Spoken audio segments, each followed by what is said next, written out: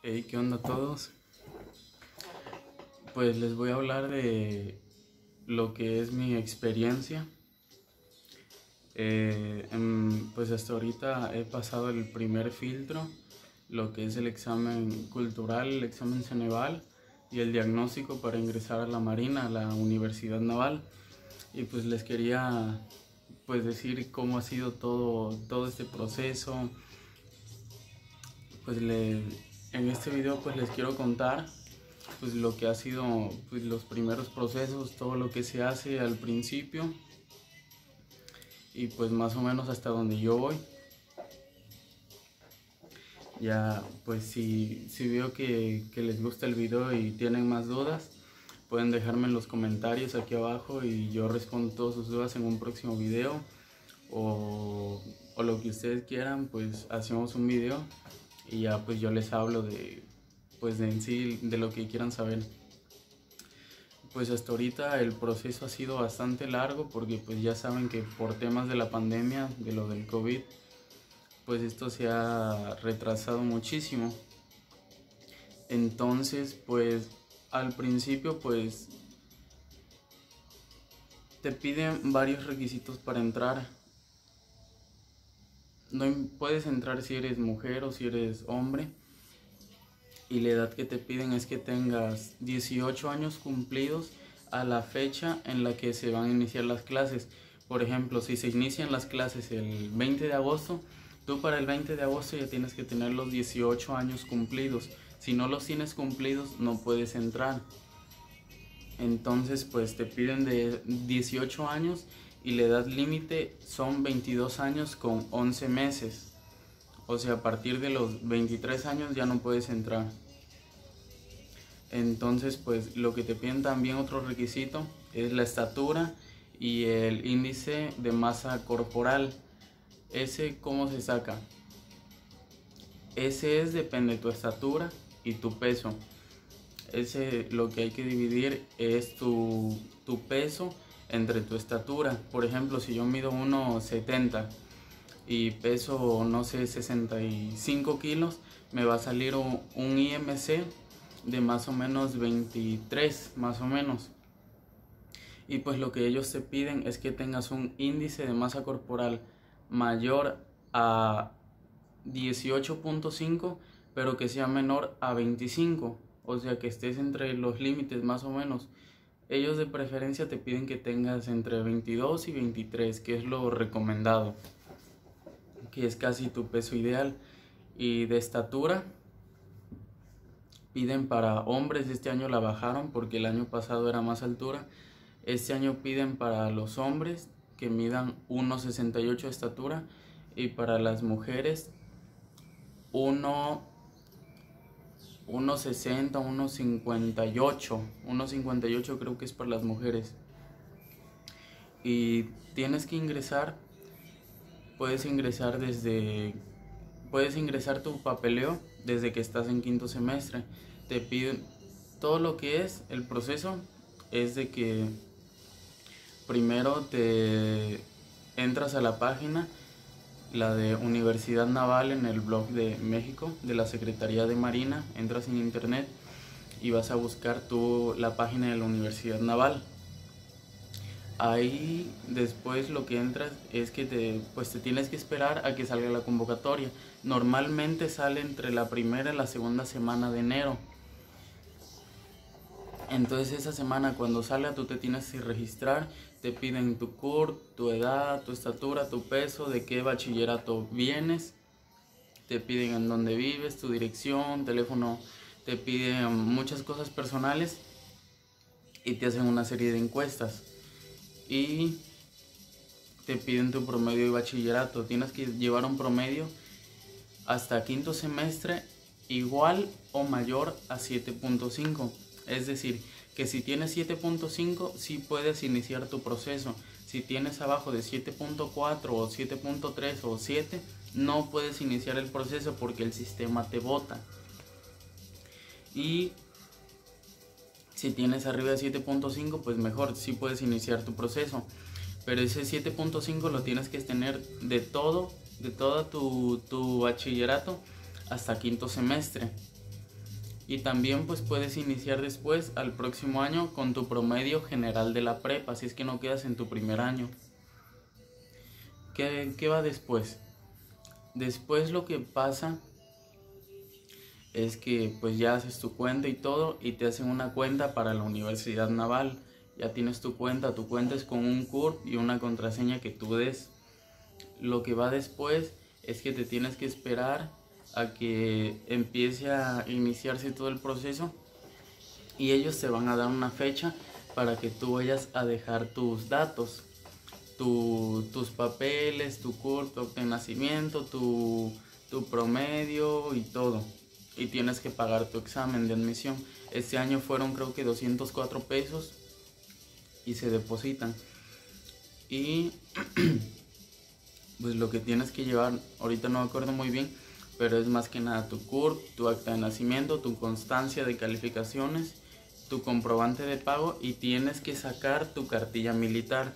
Si acabas de cumplir los 18 años o apenas los vas a cumplir, tienes que ir iniciando el trámite si tienes 18 años cumplidos y todavía no tienes cartilla militar, tienes que ir a tu ayuntamiento a realizar el trámite para que te empiecen a dar tu cartilla militar. Es una hojita, tamaño carta que dice que ya iniciaste tu proceso de tramitación de cartilla militar. Y con esa ya, ya esas las llevas aparte de los otros documentos. Y ya con esos te piden que te acerques a la zona naval más cercana. Son muchas zonas navales. Yo fui a la zona naval de Veracruz. Entonces ahí llegas y es una fila grandísima. Yo llegué como a las 7 de la mañana y ya había gente.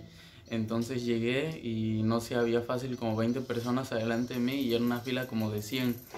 Entonces pues tú llegas, te formas y ya pues te van pasando te sacan tu IMC y entregas tus documentos. Si tienes todo bien, te puedes registrar. Ya cuando te registras, tienes que imprimir tu pase de examen y para ese pase de examen tienes que hacer una encuesta sobre las condiciones en las que vives y etcétera. Y después que realizas tu, tu encuesta, ya tienes derecho al pase de examen. Ese pase de examen es como una como una credencial y esa credencial te la tienen que firmar. La vas a dejar ahí donde fuiste a registrarte en tu zona naval. Y en mi caso, pues me tocó regresar al otro día, igual a las 7 de la mañana. Yo no soy de Veracruz, vivo en otro lado y me tocó regresar y ya pues me la tenían firmada y ya la recogí. Después de eso te van a llegar a, tu correo electrónico te van a empezar a mandar cosas de documentos y muchas cosas y te mandan que te tienes que realizar una serie de estudios médicos, lo que vas a necesitar y cuánta cosa. Ya después de eso, pues te mandan tus documentos de cuándo va a ser el examen. Y pues ya cuando te dan tus documentos, ahí te ponen la fecha del examen. Este año se atrasó muchísimo porque el examen iba a ser en abril y a mí me tocó presentarlo hasta el primero de agosto. Y me tocó en línea. Este año fue la modalidad de que hacer el examen en línea o de manera presencial en papel. Y a mí me tocó en línea por, por las condiciones en que sí, sí lo podía presentar. Entonces pues ya te dicen, no, pues esta te toca tal fecha, tal día y a tal hora. Y entonces pues ya te, tú te preparas. Y si me preguntan qué cosa fue lo que estudié, pues yo estudiaba más que nada, entras en la página de Exani, en la sección de Ceneval y tienes que entrar en Exani 2. Ahí te trae una guía interactiva que es en internet online y esa guía interactiva pues yo, yo la estuve estudiando y te trae, el examen te trae cuatro partes, que, que es la parte de pensamiento matemático, pensamiento analítico, la de español y estructura de la lengua, y comprensión lectora, que es el español. Y aparte, como vas para una ingeniería, aquí en la Universidad Naval son seis carreras. Son las carreras de Ingeniería en Hidrografía, que es Infantería Marina, es la carrera de mecánica naval, la de logística, la ingeniería aeronaval que es la de piloto, también la, la carrera de... Ah, se me olvidó. Es infantería, mecánica naval, piloto, eh, sistemas navales. Es la otra, la que les había dicho, logística. Y, y hay otra carrera aparte. Denme chance y se las pongo. Ok, las carreras son ingeniería en hidrografía, que esa es para ser infante de marina. La otra es ingeniería en logística. La otra es ingeniería en mecánica naval. La otra es ingeniería en electrónica y comunicaciones navales. La otra es ingeniería aeronaval, que es para ser piloto. La otra es médico cirujano naval, licenciatura en enfermería naval y Administración e Intendencia Naval. Estas dos últimas, la de médico cirujano y la de enfermería, no se encuentran en Antón Lizardo, en la Escuela Naval, se encuentran en los planteles de México. Entonces, si vas para alguna de esas, te, ten en cuenta que te vas a ir a México. Entonces tú escoges tu carrera y ya pues te dan tu fecha de examen y como les digo en la, en la página que yo estuve estudiando también pueden estudiar en YouTube con libros o lo que sea, pero de verdad esta es una ingeniería. Entonces, si ustedes ya saben a lo que van y que les gusta las matemáticas y la física, la química, la biología, pues sí van a poder con el examen. No es un examen fácil, es un examen pesado. No es tan fácil, sí es algo complicado, pero no es imposible. Es pesado porque el examen es de cuatro horas y media. Yo en el examen me hice tres horas, pero porque de plano me sabía todo. Estuve estudiando cuatro meses, de, me levantaba y me ponía a estudiar como a las 12 de la mañana y acababa estudiando como a las 2 de la noche. Y nada más hacía como dos o tres pausas de una hora durante todo el día. Entonces pues yo me sabía todo de lo que es matemáticas, física, me sabía todo. Si quieren que les diga más o menos qué temas vienen en el examen o, bueno, qué temas son los de la guía, pues me lo pueden poner en los comentarios y yo les voy dando una idea. Entonces, pues es más o menos todo el proceso que es antes del examen. Yo ahorita pues voy a dejar aquí el video porque ya se está haciendo un poquito largo y pues tampoco los quiero aburrir.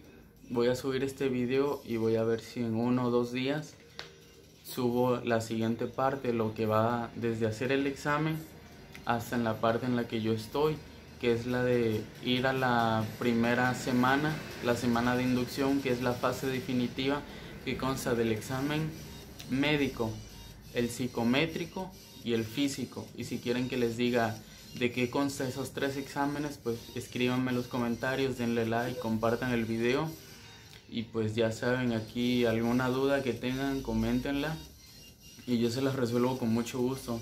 De verdad, inténtenlo, está súper padre esta experiencia y la verdad sí se los recomiendo muchísimo. Cualquier duda, pues ya saben, comenten en los comentarios, síganme en mis redes sociales como Layton1702 en Instagram y me pueden seguir también en el canal de YouTube. Por favor, suscríbanse, compartan el video y muchas gracias por ver. Nos vemos.